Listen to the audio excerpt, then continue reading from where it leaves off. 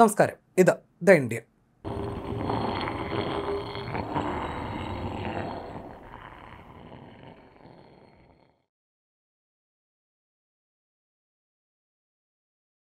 ഒരുപിടി വിജയകരമായ ദൗത്യങ്ങൾക്ക് ശേഷം മനുഷ്യനെ ബഹിരാകാശത്ത് അയക്കാനുള്ള പരിശ്രമങ്ങളിലാണ് ഇസ്രോ. മനുഷ്യനെ അയക്കുന്ന ഗഗൻയാൻ പദ്ധതിയുടെ മുന്നോടിയായി റോബോട്ടിനെ അയക്കാനാണ് തീരുമാനം. വ്യോമിത്ര എന്ന ഐ എസ് തയ്യാറാക്കിയ വനിതാ റോബോട്ടിനെയാണ് ആദ്യം ബഹിരാകാശത്തെത്തിക്കുന്നത് ഈ പദ്ധതി ഈ വർഷത്തിന്റെ മൂന്നാം പാദത്തിലേക്ക് ഷെഡ്യൂൾ ചെയ്തതായിട്ടാണ് റിപ്പോർട്ടുകൾ.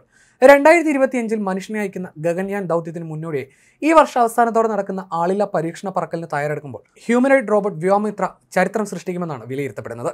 കേന്ദ്രമന്ത്രി ജിതേന്ദ്ര സിംഗാണ് മാധ്യമങ്ങളോട് സംസാരിക്കവേ പദ്ധതിയെക്കുറിച്ചുള്ള ഈ പ്രഖ്യാപനം നടത്തിയത്.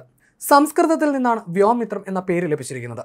വ്യോം എന്ന വാക്കിൽ നിന്നും സുഹൃത്ത് എന്നർത്ഥമുള്ള മിത്ര എന്ന വാക്കിൽ നിന്നാണ് വ്യോമിത്ര എന്ന പേര് ലഭിച്ചിരിക്കുന്നത്. വ്യോമിത്ര പിറവിയെടുത്തിരിക്കുന്നത് വട്ടിയൂർക്കാവിലെ I S R O inertial systems യൂണിറ്റിലാണെന്നതും നമ്മൾ മലയാളികൾക്കും ഏറെ അഭിമാനിക്കാവുന്ന കാര്യമാണ്. മനുഷ്യനെ പോലെ തലയും കൈയുമൊക്കെ ഉണ്ടെങ്കിലും വ്യോമിത്രയ്ക്ക് കാലുകളില്ല. മൈക്രോഗ്രാവിറ്റിയിൽ പൊങ്ങിക്കിടക്കാനും ബഹിരാകാശ യാത്രികരുമായി ഇടപഴകാനും ഗഗൻയാൻ ബഹിരാകാശ പേടകവുമായി ഇടപഴകാനും ഒക്കെ സാധിക്കുന്ന രീതിയിലാണ് വ്യോമിത്രയെ രൂപകൽപ്പന ചെയ്തിരിക്കുന്നത്. ഹിന്ദി ഇംഗ്ലീഷ് എന്നീ ഭാഷകൾ കൈകാര്യം ചെയ്യാനും കഴിയും. മനുഷ്യനെ തിരിച്ചറിയും അവരുടെ ചോദ്യങ്ങളോട് പ്രതികരിക്കും ഒന്നിലധികം ജോലികൾ ചെയ്യാനും കഴിയും. പരിസ്ഥിതി നിയന്ത്രണം ജീവൻ രക്ഷാ ഉപകരണങ്ങൾ പ്രവർത്തിപ്പിക്കൽ തുടങ്ങിയവ നിർവഹിക്കാനാവും. സ്വിച്ച് പാനൽ കൈകാര്യം ചെയ്യാനും പരിസ്ഥിതി വായു സമ്മർദ്ദമാറ്റ മുന്നറിയിപ്പുകൾ നൽകാനും കഴിയും.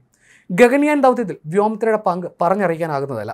മൈക്രോഗ്രാവിറ്റിയിൽ പരീക്ഷണങ്ങൾ നടത്തുക മൊഡ്യൂൾ പാരാമീറ്ററുകൾ നിരീക്ഷിക്കുക ക്രൂഡ് ദൗത്യങ്ങൾക്ക് ആവശ്യമായ പിന്തുണ നൽകൽ എന്നിവ ഉൾപ്പെടെയുള്ള വിപുലമായ ജോലികൾ ചെയ്യുന്ന രീതിയിലാണ് ഇത് പ്രോഗ്രാം ചെയ്തിട്ടുള്ളത്. ആഗോളതലത്തിൽ ബഹിരാകാശ ദൗത്യത്തിൽ U S A Russia Japan തുടങ്ങിയ രാജ്യങ്ങൾ ബഹിരാകാശത്തേക്ക് അയച്ച ഹ്യൂമനോയിഡ് റോബോട്ടുകളുടെ തിരഞ്ഞെടുത്ത ഗ്രൂപ്പിൽ ബയോമിത്ര ഉൾപ്പെടുന്നു. നാസയുടെ റോബോട്ട് നോട്ട് ടു റഷ്യയുടെ ഫെഡോർ ജപ്പാന്റെ ക്യൂറോബ എന്നിവയെല്ലാം ഇത്തരത്തിൽ ഒന്നിലധികം ജോലികൾ ചെയ്യുന്ന റോബോട്ടുകളിൽ ചിലതാണ്. ഈ കൂട്ടത്തിലേക്ക് വെറുതെ കൂട്ടിച്ചേർക്കപ്പെടുകയല്ല വ്യോമിത്ര പരിസ്ഥിതിയിൽ ഉണ്ടാകുന്ന മാറ്റത്തിനനുസരിച്ച് ക്യാബിനിൽ മാറ്റം വരുത്താനും എയർ കണ്ടീഷനിൽ നിയന്ത്രിക്കാനും ഏൽപ്പിച്ച ജോലികൾ കൃത്യമായി ചെയ്യാനുമുള്ള കഴിവാണ് വ്യോമിത്ര വ്യത്യസ്തമാക്കുന്നത്. ഗഗൻയാൻ ദൗത്യത്തിൽ ബഹിരാകാശ യാത്രികരെ സഹായിക്കാനും സുരക്ഷാ കാര്യങ്ങൾ ഉറപ്പുവരുത്തുന്നതിലും നിർണായക പങ്കാണ് വ്യോമിത്ര വഹിക്കുന്നത്. ഇനി സാങ്കേതികമായ കാര്യങ്ങൾക്കപ്പുറം പരിശോധിച്ചാൽ ബഹിരാകാശ യാത്രികരെ മാനസികമായി പിന്തുണയ്ക്കുന്നതിനും ബഹിരാകാശ യാത്രയുടെ സമ്മർദ്ദം നിറഞ്ഞതും നിർണായകമായ ഘട്ടങ്ങളിൽ ഒരു കൂട്ടാളിയായി കൂടി ഈ റോബോട്ട് പ്രവർത്തിക്കുന്നതും ഇതിന്റെ വ്യത്യസ്തതയാണ്.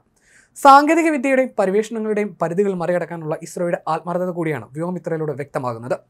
മനുഷ്യനെ പോലെ പ്രവർത്തിക്കുന്നതിനുള്ള കഴിവും ഭാഷകൾ കൈകാര്യം ചെയ്യുന്നതിലെ പ്രത്യേകതയും ഒന്നിലധികം ജോലികൾ ചെയ്യാനുള്ള പ്രത്യേകതയും എല്ലാം കൂടി ചേരുമ്പോൾ വ്യോമിത്രെ ആർട്ടിഫിഷ്യൽ ഇന്റലിജൻസ് റോബോട്ടിക്സ് മേഖലയിൽ ഇസ്രോ കൈവരിച്ച നേട്ടം കൂടിയാണ് സൂചിപ്പിക്കുന്നത്.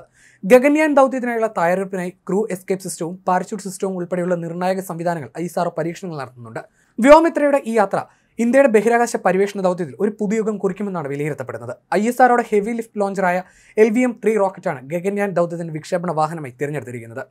Solid state liquid stage cryogenic stage എന്നിവ ഇത് അടങ്ങിയിരിക്കുന്നു എച്ച് എൽ വി എം ത്രീയിൽ ഒരു കൂട്ടം quick acting high burn rate solid മോട്ടോറുകൾ നൽകുന്ന ഒരു ക്രൂ എസ്കേ സിസ്റ്റവും അടങ്ങിയിരിക്കുന്നു. ലോഞ്ച് പാഡിലോ വാഹനം ഉയരുന്ന സമയത്തോ എന്തെങ്കിലും അടിയന്തര സാഹചര്യമുണ്ടായ ക്രൂ മൊഡ്യൂളിനും ജീവനക്കാരെയും സുരക്ഷിതമായി മാറ്റാനും ഇത് സഹായിക്കും. ഗഗ്നിയാനിന് പിന്നാലെ രണ്ടായിരത്തി മുപ്പത്തി അഞ്ചോടെ ഭാരതീയ അന്തരീക്ഷ സ്റ്റേഷൻ സ്ഥാപിക്കുക രണ്ടായിരത്തി നാൽപ്പതോടെ ആദ്യ ഇന്ത്യക്കാരനെ ചന്ദ്രനിലേക്ക് അയക്കുക എന്നിവയാണ് ഇന്ത്യയുടെ വരുംകാല ബഹിരാകാശ സ്വപ്നങ്ങൾ. ഇതിന്റെ ഭാഗമായി ചന്ദ്രപരിവേഷണത്തിനായി ഒരു മാർഗരേഖ കൂടി വികസിപ്പിക്കും. കൂടാതെ നെക്സ്റ്റ് ജനറേഷൻ ലോഞ്ച് വെഹിക്കിൾ പുതിയ റോക്കറ്റ് ലോഞ്ച് പാഡിന്റെ നിർമ്മാണം മനുഷ്യ കേന്ദ്രീകൃതമായ ലബോറട്ടറികൾ മറ്റ് അനുബന്ധ സാങ്കേതിക വിദ്യകൾ എന്നിവയും വികസിപ്പിക്കാൻ ലക്ഷ്യമിടുന്നുണ്ട്.